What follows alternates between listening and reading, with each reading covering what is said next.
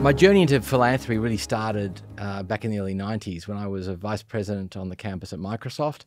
I'd gone over there after being a uh, MD of the Australian operation and went over to run a product group for three years. I went over as a very normal human being, having not really been exposed to wealth or wealthy people. And one of the first things I noticed when I reached campus was how wealthy people in America were philanthropic. It was sort of the norm, and not just nice wealthy people, but not so nice wealthy people were really quite philanthropic. And I remember distinctly being uh, on a plane with Bill, with Bill Gates, who was my boss. I was a VP of a product group reporting to Bill and talking about philanthropy. And he talked about what his mother said, Mary Gates, his mother, who was a great philanthropist in the Seattle area and chair of United Way. And she had this sort of view, and I'll probably paraphrase it incorrectly, which was that if you're successful in life, it should be your responsibility, not your choice to give back. I can distinctly remember the time on that flight to New York and him saying that to me and how much sense that made and how obvious it seemed to if you have ended up with more in your pocket than